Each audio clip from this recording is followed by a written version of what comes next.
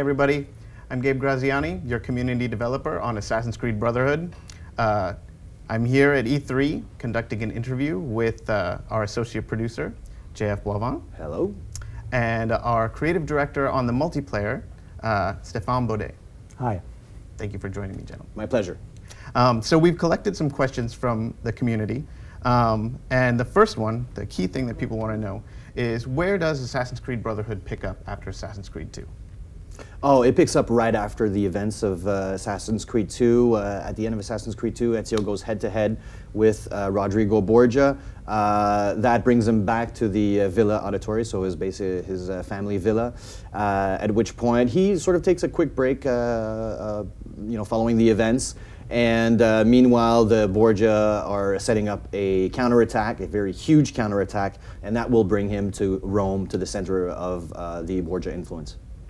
Um, now, we've heard a lot about uh, the Brotherhood. Um, Ezio is going to be amassing an army of assassins, a group of assassins to help fight him. Um, and our community was curious to know how much differentiation are we going to see uh, among those assassins? Are they going to be uh, different specifically, or will they be more generic?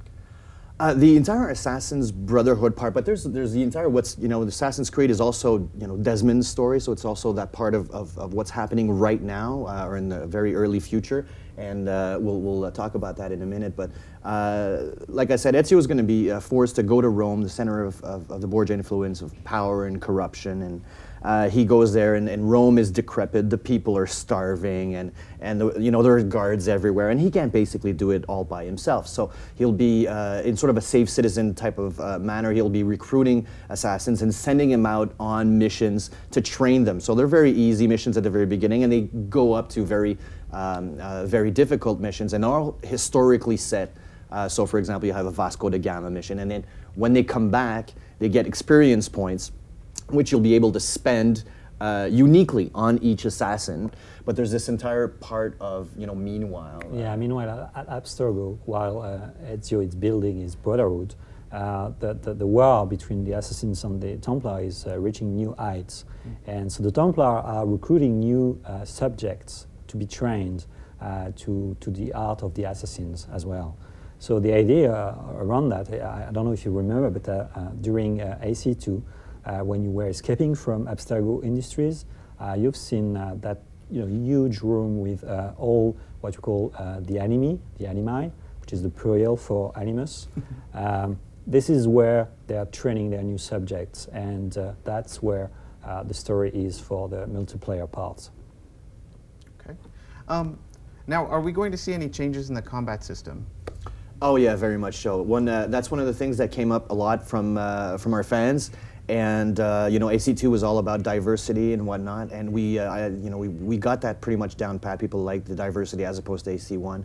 Uh, one thing that came out a lot from the fans was well, Kelly, the fight system is a bit sort of slow paced. It's a bit a question of of uh, you know uh, waiting. It was a bit more defensive uh, oriented, and now we wanted to reward those who strike first, strike fast, those who actually are very offensive. So you have a lot more combo. It's a lot more visceral. It's a lot more fast paced.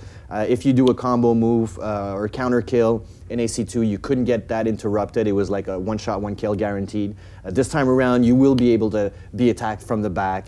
And uh, as you'll see in the demo, I think we kill like 20 people in 25 seconds or something crazy like that. So it's a lot more fast paced. We wanted to reward those uh, who uh, are really good with, uh, you know, with their technique of fighting. Cool.